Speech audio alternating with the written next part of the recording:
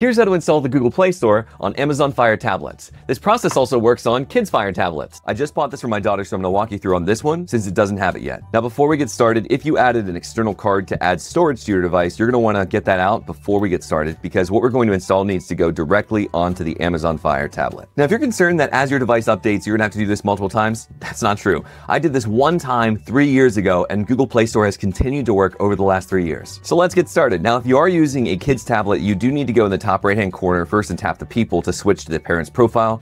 Tap switch profile, tap your name. After it switches, log in. And as you can see right now, I don't have the Play Store. And if I were to go to the Amazon App Store and search for Play Store, there are some fake options, but it says Google Play Store is not available on Amazon Fire Tablet. Now that is true for Amazon Fire tablets out of the box, but we do know a way to get it on there. Now, quick disclaimer, there's probably a reason why they don't have the Play Store on here. So do some research if you're not comfortable. And if you want to move forward, let's do it. Okay, so to get started, swipe down from the top Swipe again and then tap this gear to go to settings. From there, scroll down a little bit, go to security and privacy, tap on apps from unknown sources, and then where you see Silk browser, tap that and say allow from this source. This will allow you to download the files from Amazon's browser so that we can install Google Play Store. Next, we need to look up what kind of Amazon Fire tablet you have. So to do that, tap back, tap back, tap back, scroll down to device options. So if you scroll down here, you're going to see that under About Fire Tablet, you have a, and then whatever is listed for you. I have a Fire HD 10, 13th generation, so I'm going to go ahead and note that. Then let's tap on System Updates to make sure your device is currently up to date. Tap Check Now. If something is offered, go ahead and update. Then you can also write down your current operating system. So this is Fire OS 8.3.3.5. All right, so we're ready to go. Let's tap the circle to go back to the main menu. So now we're going to go to the Silk browser. If you don't see it, that's okay. Type in Silk browser tap on it, and here we're going to type in a specific website. I made a shortcode to make it easy for you, so type in bit.ly slash rr tablet and then press the yellow button to go. This website is fantastic and walks you all the way through, but scroll all the way down to Google Account Manager. Now remember when we wrote down what kind of tablet we have? Go ahead and find it and tap on the selection to the right of it.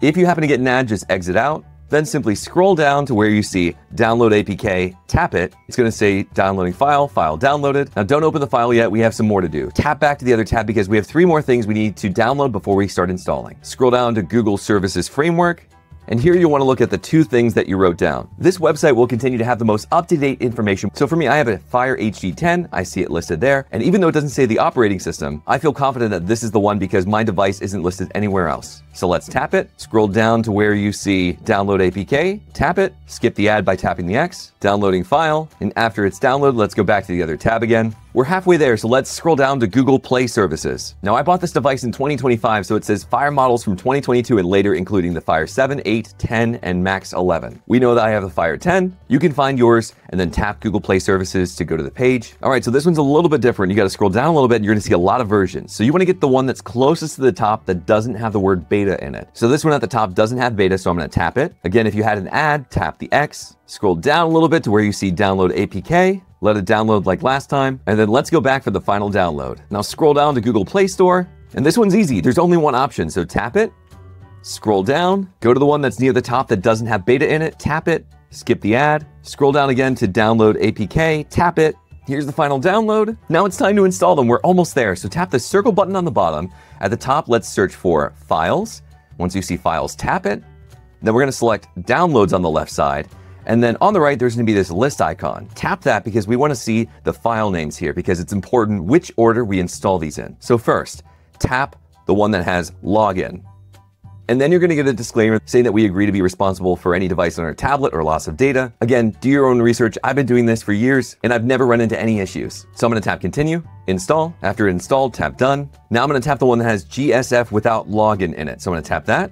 Tap continue, tap install. Once it's installed, tap done. Now I'm gonna go to GMS, tap continue, install, tap done. But watch what happens when I try to install this fourth one. I tap it, it says there was a problem parsing the package. If this didn't happen to you and it installed perfectly, great, move on to the next part of the video. But if it did, let me show you how to get past this error. So tap OK, and we know that it was the fourth one that I installed based on time. See, one, two, three, four. So I know that I can go back to the browser and I can Go to the fourth one down, which is the Google Play Store, and I'm going to tap on that because we need to re-download an older version. So we're going to scroll down. I installed that top one before, and we're going to skip down to the next APK, not bundle, the next APK. So I'm going to tap it, skip the ad, scroll down, download APK, It might say, do you want to download it? This might be harmful. Yes, download anyway. Tap the square to go back to where we were in files. If you don't see it automatically, tap on documents, then go back to downloads, and you'll see a more recent version. So I'm gonna go ahead and tap that. We get the regular prompt, tap continue, hit install, and you're gonna see it installed. Now, if you still get that error, keep going through the list until you get one that works. But once it's installed, go ahead and hit done, not open, because what we need to do now is restart our device. So hold the power button, tap restart. Now you can feel free to add your external storage back to your device, log in, and for the last step, tap Play Store, sign into your account, and once you're in, you can download things like YouTube, YouTube Kids, or anything else you'd like. Please hit subscribe to let us know if this was helpful, and we look forward to serving you in our next video. Enjoy.